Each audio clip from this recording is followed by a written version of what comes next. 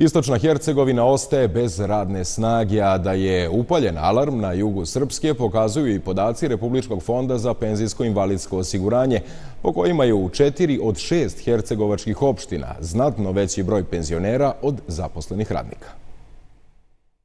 Za razliku od Trebinja i Gacka, gradovi u kojima se nalaze elektroenergetski giganti, u Bilećine, Vesinju, Ljubinju i Berkovićima broj penzionera veći je u odnosu na broj zaposlenih, što je alarmantan podatak. Tako je u Bileći broj zaposlenih manji za više od 500, tačnije zaposlenih je 2221, a broj penzionera 2733. Ovdje nema sreće nikakve. Mi smo došli u situaciju koja izlaza nema pare primaju samo političari i milicajci, a običan narod nema nikakve šanse. Završio, ne završio. Ako nema šansku kartu, ćao mi koji ostale stvari. Beda, beda. Otišao bi ja, Boga mi zrado da me oče iko, 75 godina, 6. Nema vlasti.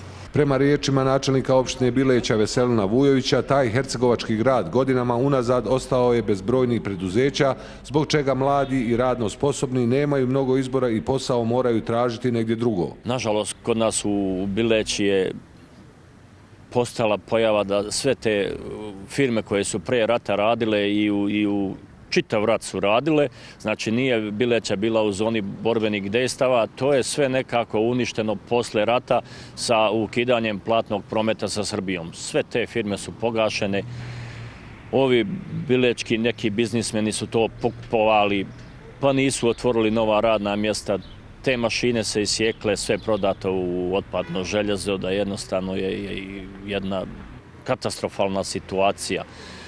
Ja se ne čudim mladim ljudima što odlaze, moraju odlaziti jer život brzo prolazi, moraju se snalaziti ta radna mjesta i bolje plate i sve to. Ništa bolja situacija nije ni u Ljubinju, gdje je broj zaposlenih 614 u odnosu na 960 penzionera. Prvo nedostatak posla, drugo nedostatak pravne sigurnosti, treće je primanje po babu, po stričevima, po kumu, po kumi i tako dalje i tako dalje.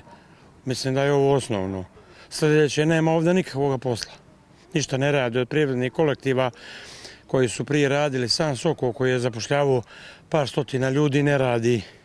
Isto tako ovdje je bila jaka prerada duana koja isto tako uopšte ne radi.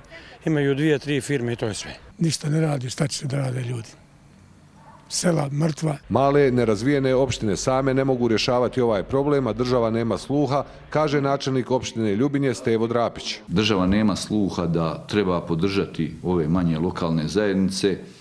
Mi ovdje ne možemo, nemoćni smo da sami otvaramo nova radna mjesta bez ikakvih benefita države, tako da posljedica svega ovoga jeste da mladi ljudi nemaju vremena za čekanje, da odlaze tražeći radna mjesta i to nas je, to je slika koja govori onda da imate situaciju da imate u opštini više penzionera nego zaposlenih ljudi. Narodni poslanik iz Trebnja Nebojša Vukanović smatra da je u pitanju opstanak stanovništva u cijeloj Hercegovini, a da najveću odgovornost za raseljavanje ima vlada Republike Srpske. Ukoliko se nešto hito ne preduzme i ukoliko vlada Republike Srpske prekine maćinski odnos i pomogne male, prije svega nerazvijene opštine kakve su Ljubinje, Rudo, Čajniće, Istoši, Mostar, Berkovići, te opštine će vrlo brzo prestati e, spašće na nekoliko stotina stanovnika i dovešće se u pitanje sam ostanak Hercegovine. Iako je u Trebinju, regionalnom centru, odnos radnika veći u odnosu na broj penzionera, u ovom gradu dolazi do sve većeg odlaska radno sposobnih ljudi u susjedni Dubrovnik.